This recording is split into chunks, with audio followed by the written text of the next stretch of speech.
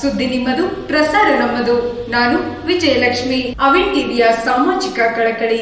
ದಯವಿಟ್ಟು ಮನೆಯಿಂದ ಹೊರಬರುವಾಗ ಉತ್ತಮವಾದ ಎನ್ ನೈಂಟಿ ಫೈವ್ ಮಾಸ್ಕ್ ಗಳನ್ನ ಧರಿಸಿ ಹಾಗೂ ಕೈಗಳಿಗೆ ಸ್ಯಾನಿಟೈಸರ್ ಬಳಸಿ. ದೇವಸ್ಥಾನಗಳನ್ನ ಉಳಿಸಲು ಹಿಂದೂಪರ ಕಾರ್ಯಕರ್ತರು ಸಂಸದರಿಗೆ ಮುತ್ತಿಗೆ. ಮೂಡಿಗೆರೆ, ದಿನಾಂಕ ಸೆಪ್ಟೆಂಬರ್ ಹದಿನಾರು. ಮೂಡಿಗೆರೆ ಪಟ್ಟಣದಲ್ಲಿ ಸಂಸದ ಪ್ರತಾಪ್ ಸಿಂಹ ಅವರ ಪತ್ನಿ ಡಾಕ್ಟರ್ ಅರ್ಪಿತಾ ಸಿಂಹ ಅವರ ಹೊಯ್ಸಳ ಹೆಲ್ತ್ ಕೇರ್ ಸಂಸ್ಥೆ ಉದ್ಘಾಟನಾ ಕಾರ್ಯಕ್ರಮಕ್ಕೆ ಆಗಮಿಸಿದ್ದ ಪ್ರತಾಪ್ ಸಿಂಹ ಹಾಗೂ ಮತ್ತೋರ್ವ ಸಂಸದ ತೇಜಸ್ವಿ ಸೂರ್ಯ ಅವರು ಕಾರ್ಯಕ್ರಮ ಮುಗಿಸಿ ತೆರಳುತ್ತಿರುವ ಸಂದರ್ಭದಲ್ಲಿ ಪಟ್ಟಣದ ಬಸ್ ನಿಲ್ದಾಣದ ಎದುರು ಹಿಂದೂಪರ ಸಂಘಟನೆಯ ಕಾರ್ಯಕರ್ತರು ದಿಢೀರ್ ಎಂಬಂತೆ ಮುತ್ತಿಗೆ ಹಾಕಿ ಕಪ್ಪು ಪಟ್ಟಿ ಧರಿಸಿ ಆಕ್ರೋಶ ವ್ಯಕ್ತಪಡಿಸಿದರು.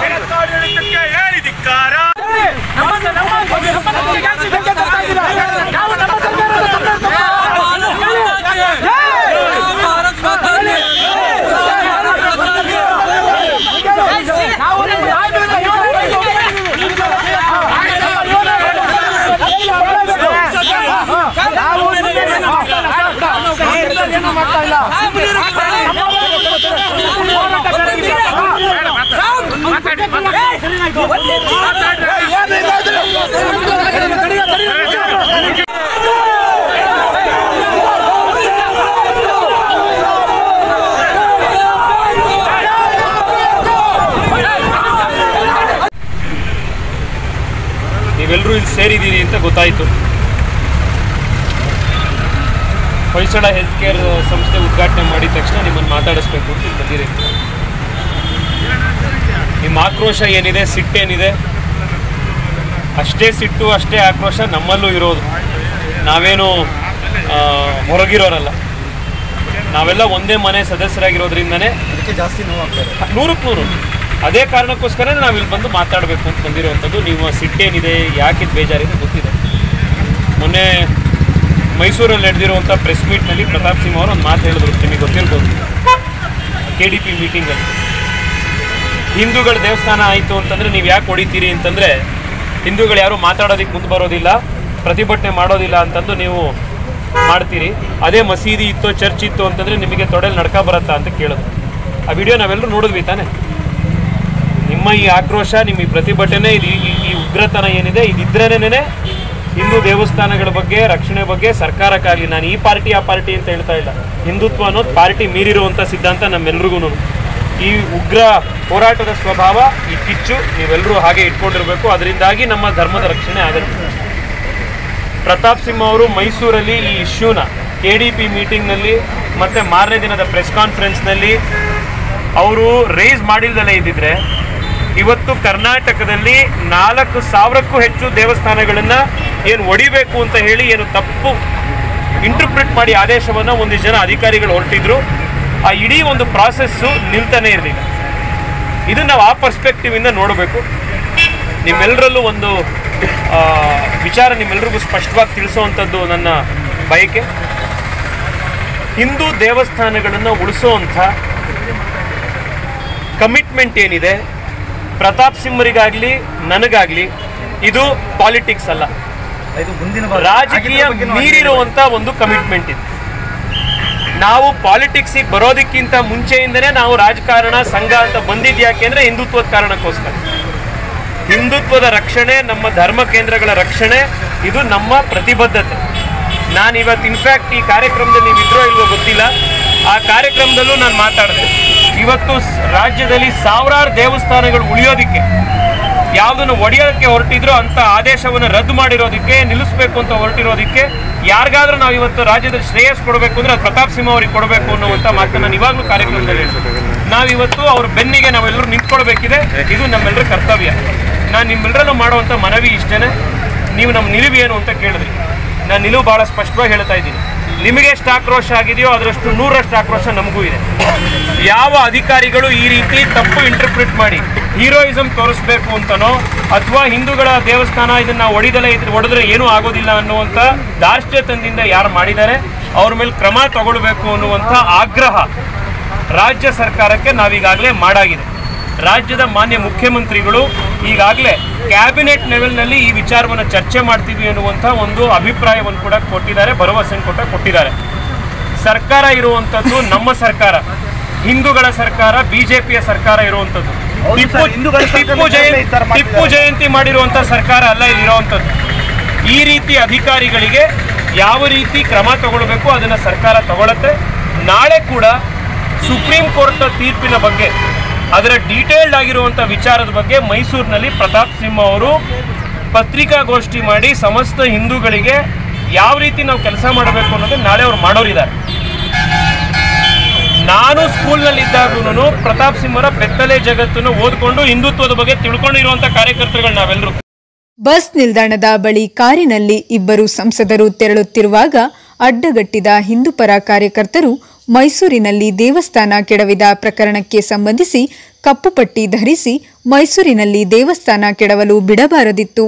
ಅಧಿಕಾರಿಗಳು ವಿರೋಧ ಪಕ್ಷಗಳ ಏಜೆಂಟರಂತೆ ವರ್ತನೆ ಮಾಡುತ್ತಿದ್ದಾರೆ. ನಮ್ಮ ಸರಕಾರ ಆಡಳಿತದಲ್ಲಿದ್ದರೂ ದೇವಸ್ಥಾನ ರಕ್ಷಿಸಲು ಸಾಧ್ಯವಾಗದಿರುವುದು ದುರದೃಷ್ಟ. ನಮಗೆ ನ್ಯಾಯ ದೊರಕಿಸಿಕೊಡಬೇಕೆಂದು ಸಂಸದರ ಎದುರು ಆಕ್ರೋಶ ವ್ಯಕ್ತಪಡಿಸಿದರು. ಪೊಲೀಸರು ಗಲಭೆ ನಿಯಂತ್ರಿಸಲು ಹರಸಾಹಸ ಪಟ್ಟರು. ಬಳಿಕ ಇಬ್ಬರು ಸಂಸದರು ಕಾರ್ಯಕರ್ತರನ್ನ ಸಮಾಧಾನಪಡಿಸುವಲ್ಲಿ ಯಶಸ್ವಿಯಾದರು.